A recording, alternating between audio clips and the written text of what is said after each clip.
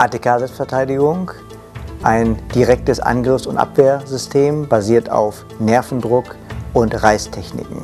Das Besondere dabei ist, dass man durch gezielten Nervendruck den Gegner, den Angreifer nicht zwingend verletzen muss, sondern man kann ihn entsprechend äh, kontrollieren.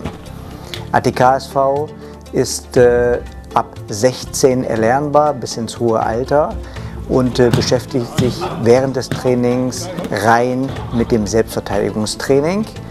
Und zwar sowohl einmal auf der Matte, also im Trainingsraum, als auch an gegebenen Orten wie zum Beispiel Stadtpark, Parkhaus oder auch am Auto oder an der Haustür der Parkgarage.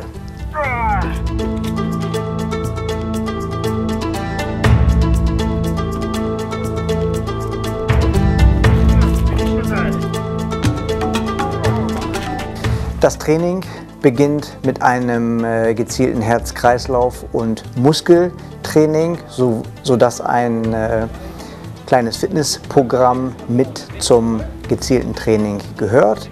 Danach äh, werden Koordination und Konzentrationsübungen durchgeführt, die gezielt auf das Selbstverteidigungstraining, das Haupttraining ausgerichtet sind, sodass man äh, sich letztlich ausschließlich mit dem Selbstverteidigungstraining äh, und mit der Situation draußen auseinandersetzt.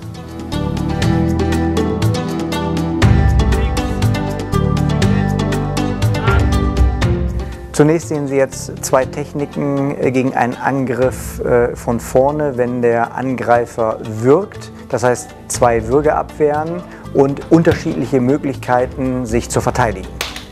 Ein gängiger Angriff äh, in der Selbstverteidigung ist auch ein direkter Schlag, ein Faustschlag von vorne, den wir jetzt sehen.